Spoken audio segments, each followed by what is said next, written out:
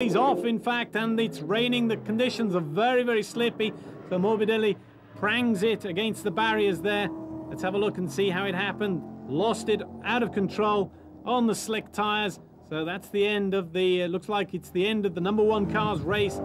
Gianni Morbidelli was going very well in the dry conditions as he pirouettes round. And now all eyes are on Luigi Martini.